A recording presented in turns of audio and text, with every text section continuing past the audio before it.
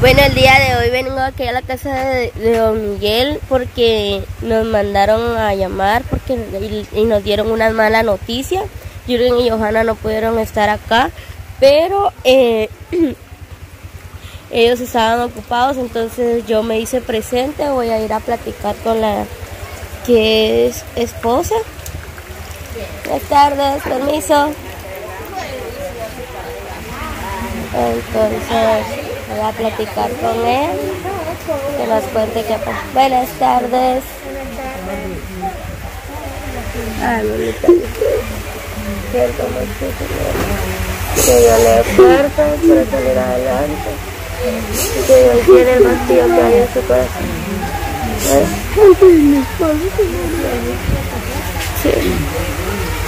Porque tantos dolores que no aguantaba.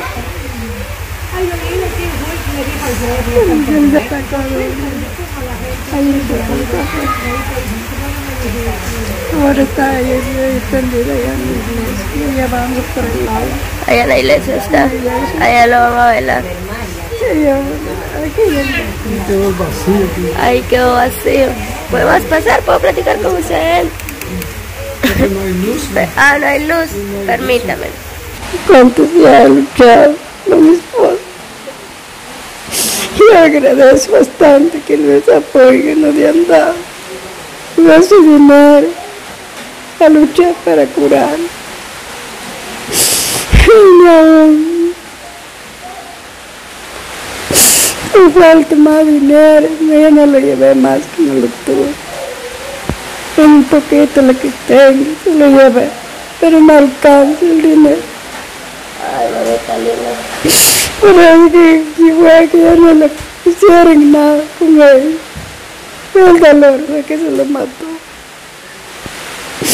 Tanto dolor y no aguantó. Por eso se, se fue de este lugar. Eso es de cuánto gasto tengo ahorita. ¿Cuánto tengo que hacer? En la casa tenemos que comprar de la fiada, vamos a pedir que nos dieron. Y tenemos que ver cómo hacerlo para pagar. Eso me duele mi corazón porque no tengo que hacer nada. Me siento muy triste porque no se pudo hacer nada por él, ¿verdad? Y todo lo que él estaba sufriendo. Sí, sabe que dolor que sufrió. Ahorita y cuéntenos a qué hora fue que él falleció. A las 3 de la mañana. A las 3 de la mañana. ¿Todavía logró usted platicar con él? Platiqué todavía con él, dije que ahí te cuidas. Yo no puedo hacer nada, yo no aguanto el dolor. Yo mi esfuerzo ya se terminó para soportar el dolor. Y así cuando fue cuando él despidió delante de mí. Se quedó tuve un tanto de medicina. ¿Y qué voy a hacer con medicina? Y falleció él. Y estoy preparada ya en la iglesia, que lo van a velar ahí en la iglesia. Ahí lo van a estar velando en la iglesia. Y en la iglesia está bonita y allá van a hacer el servicio. Es el que a mí me duele. No le puedo hacer nada más que me... Se fue y me quedé tengo que ver cómo hacer para pagar la deuda. ¿Cuánto se gasta este día? Eh, bonito. Y respecto, usted nos había comentado la vez pasada cuando venimos a grabar con usted de que todavía tenían un dinero, un dinero guardado de lo que nosotros le dábamos. Sí, Entonces me imagino que ese dinero les está sirviendo ahorita para los gastos de, que tienen ustedes, del- de, la, de la funeraria, todo eso. sí, ese dinero pues sí. Eso nos, nos sirvió para el gasto, para dar las vueltas. Porque la casa nos costó muy caro. Y gracias a Dios que, que nos dieran así, ya fuimos a pedir, porque dar las vueltas, quiere dinero, se gasta. Como el costumbre aquí, que toda la gente hay que atender. Y todo, tiene que hacer todo. y tendrá la gente. Y ese dinero fue que le gasté hoy para todo que se hizo. Y falta tu vida. Hasta el martes vamos a llevar. El martes lo van a enterrar. El martes. Todavía lo van a velar mañana entonces. Se tuve la mañana. Así. Solo Dios me puede dar para salir eso. La necesidad. Así que linda, nosotros lamentamos mucho lo que pasó, porque lo que más deseábamos era que don Miguel se lograra recuperar, ¿verdad? Era lo que más anhelábamos, cada visita que le dábamos, pues deseábamos de todo corazón de que él se levantara de ahí y pudiéramos convivir con él. Recuerde que también habíamos hablado hasta de la invitación que él nos había hecho, que íbamos a festejar, íbamos a comer, que él nos había invitado cuando él se recuperara de ahí pero recordemos también de que él estaba sufriendo bastante, ¿verdad? Entonces ahí sí que yo solo le puedo decir que le pida mucho a Dios, que le dé mucha fortaleza, que Él le logre llenar el vacío de su corazón y que Él le dé las fuerzas para seguir adelante, sobre todo a usted y a los hijos de Él, ¿verdad? Para que puedan seguir adelante y puedan seguir como una familia unida y que guarden en, en, su mente y en el corazón los buenos momentos de él, las buenas enseñanzas, porque recordemos que era un pastor y, y aparte de eso, como ser humano, pues eh, les dejó muchas enseñanzas, como cualquier otra persona, ¿verdad? Entonces, él los, él los apoyó en su momento, cuando pudo, todo, entonces hay que recordar lo bonito, ¿verdad? Y saber de que mientras usted pudo y hizo todo lo posible, pues por que él se recuperara, pues que le quede a usted la satisfacción de que lo hizo. Sí. Que lo medicina, pues lo compramos con ese dinero, esa ayuda con los, los pobres personas. Y ella me puso contenta para que ya le ve solución. Se levantó, pero al fin, un momento cuando cayó otra vez más peor. Y ya no le pude hacer nada porque ya él ya no quiere nada. Medicina que es el dolor, lo atacó del corazón todo.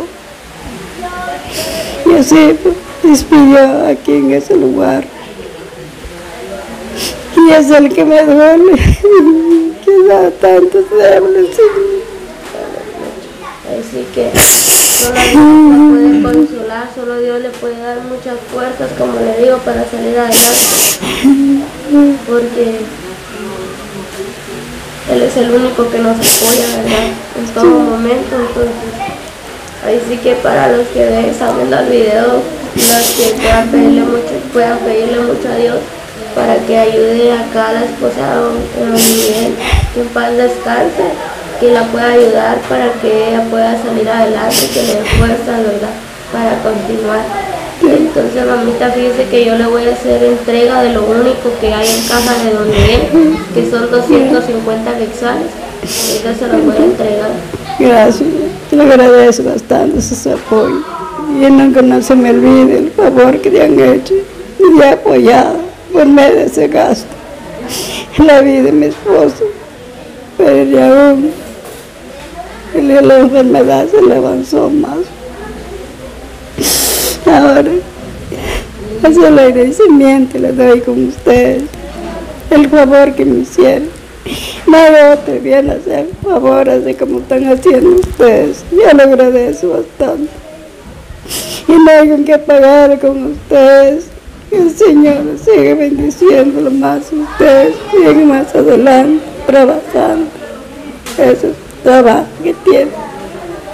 Le agradezco bastante con ustedes es mi palabra. Gracias. Entonces, ahorita le voy a hacer entrega de Cierra la puerta. Le voy a hacer entrega de los 250 mixales que hay acá de, de, Don Miguel, que eso se los envió Juana Soberano, una persona que está en Estados Unidos. Ah, le agradezco bastante. Estos son los 250 de Juana Soberano. Gracias. Acá está 100. 250. Eso, eso se lo envió ella de todo corazón. Yo le agradezco bastante. Gracias, no me dejes Así que me apoyo.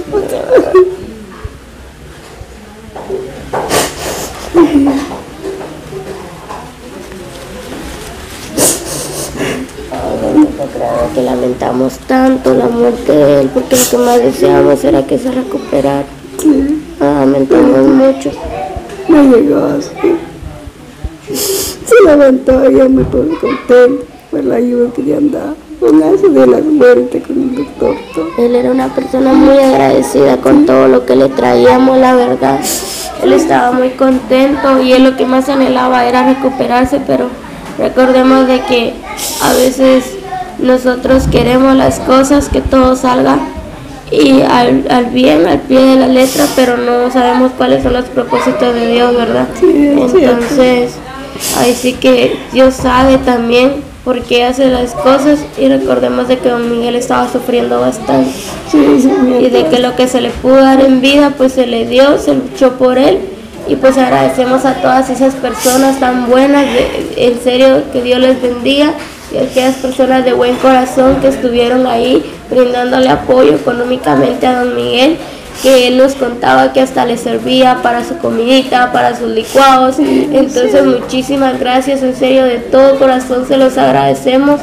Que paz descanse don Miguel, es muy lamentable, la verdad, no, no, no haber logrado lo que queríamos, no haber logrado. Y incluso eh, cuando a nosotros nos dieron la noticia, créanme que lo primero que vino a mi mente fue el sueño que él tuvo y que nos había contado en un video cuando nos cuando nos empezó a contar de que había soñado de que de que Jürgen y yo habíamos venido acá y de que él se había despedido de nosotros y quizás fue la última vez que lo hizo en ese video y a veces no entendemos el porqué de los sueños o en qué momento van a pasar las cosas y quizás esa vez se estaba despidiendo de nosotros pero a veces no, no somos tan sabios, ¿verdad? Mucha como para entender.